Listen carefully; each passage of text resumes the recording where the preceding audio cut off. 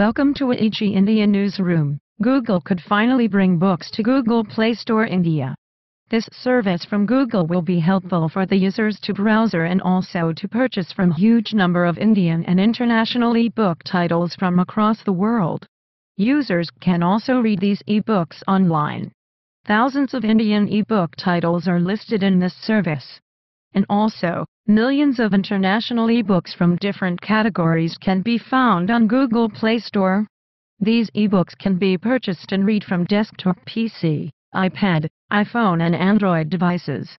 Purchase of these ebooks is very simple in that they are competitively priced. Google Play Store Books ensures that their books are priced competitively when compared with Amazon Kindle Bookstore and Flipkart Flyte eBooks iBooks service from Apple allows the users to download only some of the classic ebooks in India. Flightbook app from Flipkart also offers good range of ebooks but it is not available for iPad and iPhone yet. Hence, Google Play Store Books and Kindle are the only options left for Indians using iPhone and iPad. Users those who want to have ebooks on their devices can now head to Google Play Store Books. There are many features of this service and they include ability given to the users to change the font of the book and also to search within the book.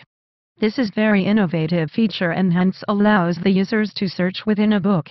Users can also get information about the book, so as to get an idea what will be present in the book. Users can be able to read free classics from this store. Managing the library is all in the hands of users. That means, users can archive their books after reading in their own way. There are few more special features like night reading mode, voiceover support, read books offline etc. Bye. Have a nice day.